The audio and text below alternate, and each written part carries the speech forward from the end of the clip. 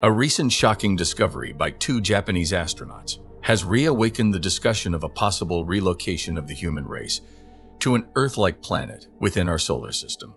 But what exactly is this new planet called, and what are the chances that we could one day live in this newfound world? Let's find out. The recent surge of advancements in the space industry is truly astonishing. In the last 24 months alone, we've seen a successful, daring, unnamed mission to the moon's orbit by NASA. As if that's not impressive enough, just a few weeks ago, India became the first ever country to land a robotic space explorer on the south pole of the moon. And as you may have noticed, SpaceX has attempted to launch its long-awaited Starship rocket.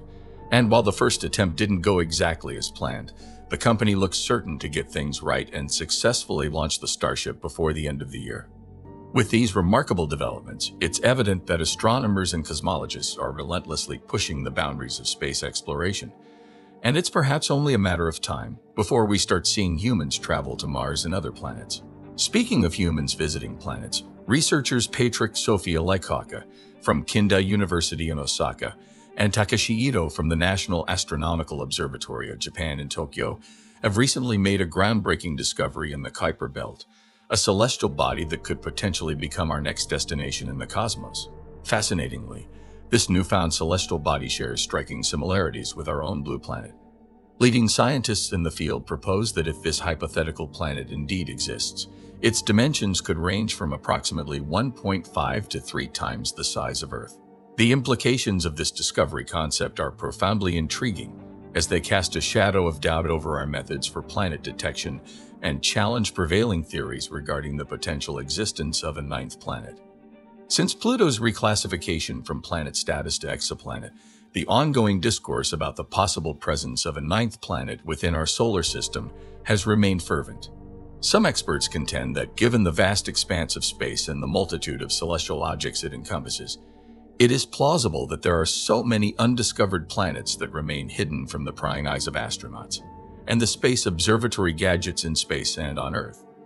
However, for these two renowned scientists, they believe that rather than searching for Planet 9 all over the solar system, we could use that energy to explore the Kuiper Belt, a circumstellar disk in the outer solar system that is believed to house at least one Earth-like planet.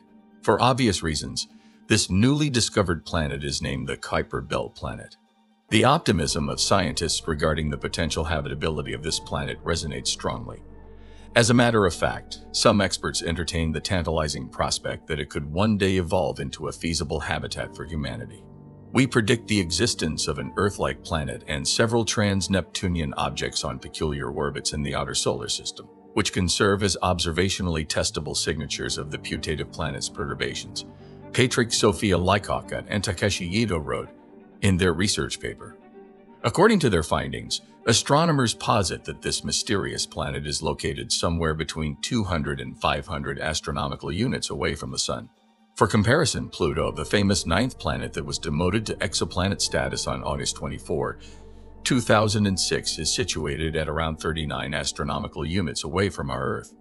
In addition, close observation shows that this newfound Earth-like planet is tilted at about 30 degrees away from the Sun, while Pluto is tilted at about 119.5 degrees away from the star.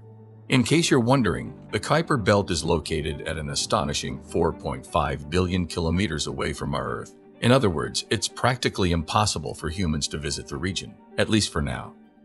So how did Patryk Sofia Lykawka and Takeshi Ito make this blockbuster discovery without visiting the Kuiper Belt? Well, it's not sorcery or magic. The discovery of this mysterious Earth-sized planet and its characteristics was made possible by using computer simulations to examine the clustering patterns of the trans-Neptunian objects in the Kuiper Belt. The results of the Kuiper Belt planet scenario support the existence of a yet undiscovered planet in the far outer solar system. More detailed knowledge of the orbital structure in the distant Kuiper belt can reveal or rule out the existence of any hypothetical planet in the outer solar system. This discovery opens up exciting prospects for further exploration and understanding of our solar system's outer reaches, challenging our existing understanding of its celestial dynamics. Beyond this project, the Kuiper Belt has become some sort of hunting ground for scientists looking for potentially habitable worlds. Notably, the Kuiper Belt shares some similarities with the main asteroid belt that's located between the orbits of Mars and Jupiter. This donut-shaped region of icy bodies beyond the orbit of Neptune is home to several leftover celestial elements, just like the main asteroid belt. Similarly, the sheer amount of gravity produced by Neptune means that the small icy objects within the Kuiper belt cannot form a planet.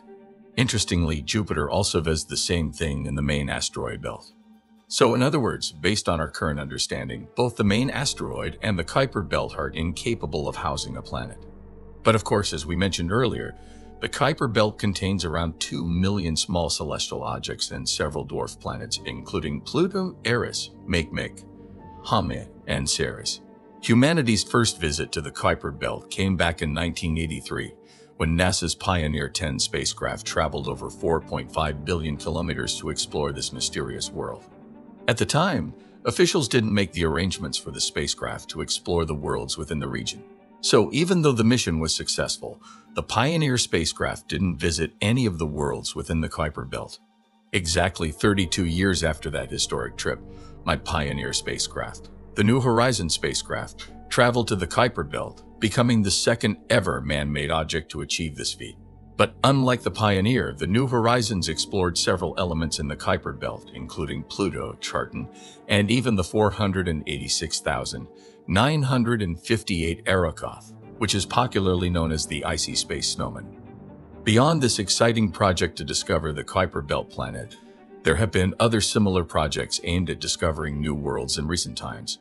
One of such undertakings led to the discovery of Sedna, a dwarf planet with weird orbits hovering on the outskirts of our solar system. Discovered by Mike Brown and Konstantin Batygin in 2016, Sedna is about half the mass of Neptune. Over time, some experts have expressed optimism that this incredible world could potentially be the elusive ninth planet that we've been searching for all these years. However, Lykawka and Ito believe that while the discovery of Sedna reveals the characteristics of other similar objects in the region with the same orbits and angles, it doesn't exactly tell the full story of the craziness going on with Kuiper Belt objects' orbits. Especially because we've encountered limitations in exploring various similar scenarios, such as an Earth-sized planet being jostled aside by one of the wandering giant planets, causing ripples through the Kuiper Belt. In most cases, these scenarios fail to account for all the peculiarities we observe in the Kuiper Belt today, from orbital resonances to the presence of oddly distant objects in tilted orbits. However, the simulation conducted by Lykawka and Ito seems comprehensive enough as it covers all the intricate dynamics within the Kuiper Belt. But in the end, proving the existence of Planet 9 goes beyond mere computer simulations. It entails a formidable challenge in studying and unveiling not only the size but also the intricate trajectory of this hypothetical world, just as Lykawka and Ito in their recent paper. More detailed knowledge of the orbital structure in distant Kuiper belt can reveal or rule out the existence of any hypothetical planet in the outer solar system. In conclusion, we have to give credit not only to Patryk Sofia Lykawka, Takashi Ito, Mike Brown, and Konstantin Batygin, who have done some incredible work. They've charted a revolutionary course, and thanks to them, our chances of locating the elusive Planet 9 has increased significantly.